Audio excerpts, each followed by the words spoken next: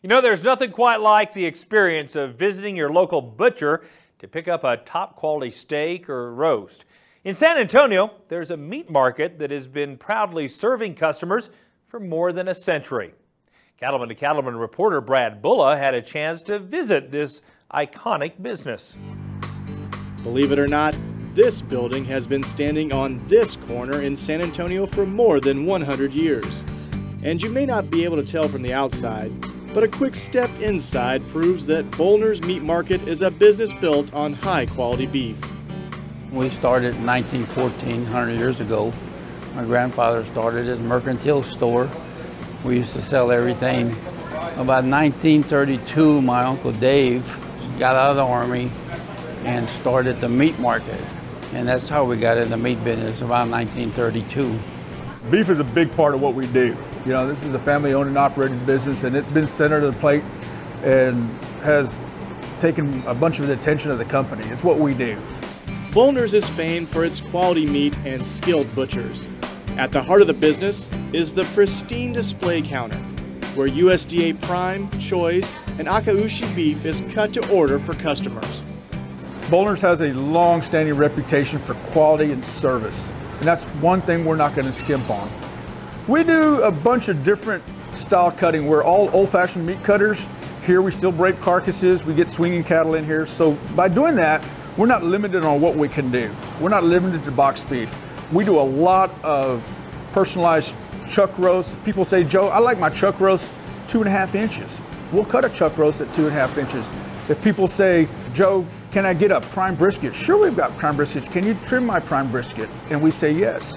You know, there's a lot of different things that we do that people appreciate. The customers here love what we do. You know, I always tell them, I can give you bad advice, I can give you a bad direction, but I'm not going to give you a bad steak. And we're going to cut them the way you like them. I guarantee you. It's not just San Antonio families that are fond of Bolner's. The business ships beef to customers all across the U.S. You don't get to stay in business this long without offering a high quality product.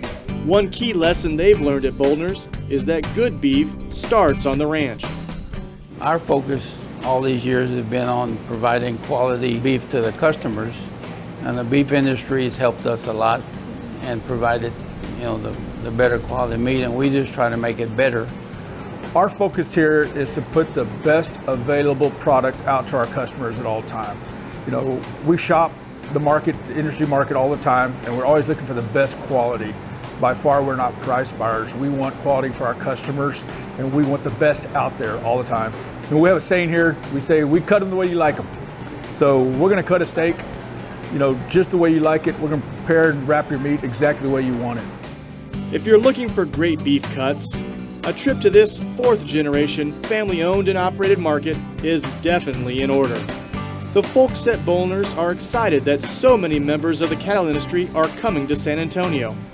We welcome you with open arms. Uh, we love what y'all do for the industry. Hang in there. It's a tough business and we know it and we appreciate y'all greatly. The passion and love for what y'all do in the cattle industry shows here.